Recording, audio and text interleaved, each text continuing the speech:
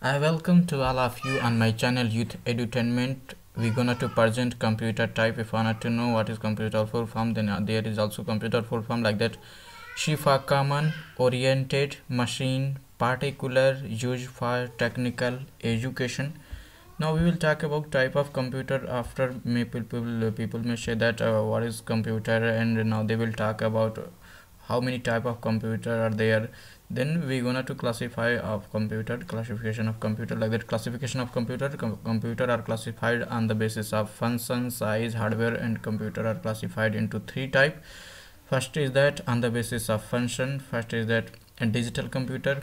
What is digital computer? A computer that process numeric data as well as non-numeric data is said to be digital computer. It is used in business education and in various field now we'll talk about analog computer analog computer a computer that process with numbers represented by directly measurable quantities such as voltage rotation temperature weight etc the example of analog computer is speedometer petrol pump machine etc now we'll talk about hybrid computer. Hybrid means both quality. It means that those computer which contain quality of digital computer as well as analog computer is said to be hybrid computer. It is used on petrol pump hospital and in various field now we'll talk about on the basis of size. On the basis of size computer classified into three part. Is first is that mainframe computer it is larger in size and it has large storage capacity. It has much data processing speed. It is mainly used as atm petrol pump car computers and etc now we'll talk about mini computer. Mini computer is small computer that is intermediate between microcomputer and mainframe computer mainframe um, computer and it is mid, medium in size. It contain more than one microprocessor. It is mainly used in bank railway and, and other government and private sectors.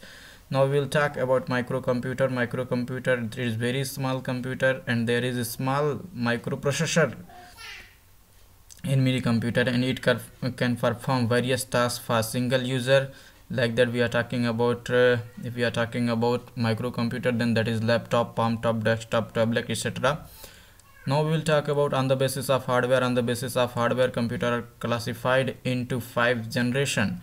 Now we will talk about first generation of computer first generation of computer the period of first generation of computer is in 1945 to 1955 in the first generation of computer there was main hardware that was vacuum tube it means that vacuum tube was the main hardware at that time of computer it was large in size the example of uh, first generation of computer is ENIAC, EDVAC, EDSAC, IBM 701, IBM 650.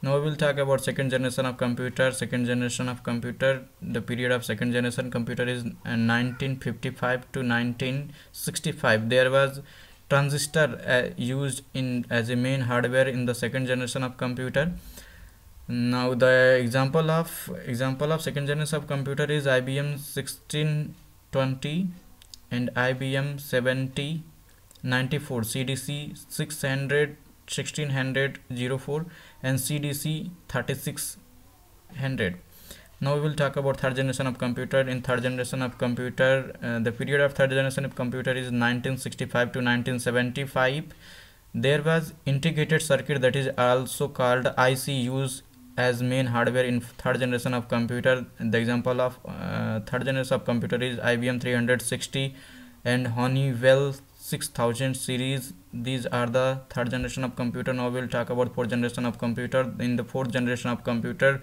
there was VLSIC that is very large small integrated circuit used in the fourth generation of computer. That is also called microprocessor. The period of uh, third fourth generation of computer is 19 1975 to 1985 the uh, that is also called microprocessor used used in fourth generation of computer. That is the DEC 10 star 1000 uh, PDP 11 Cray first. That is also called supercomputer. Now we will talk about fifth generation of computer. The fifth generation the period of fifth generation is 1985 to till till now or till date.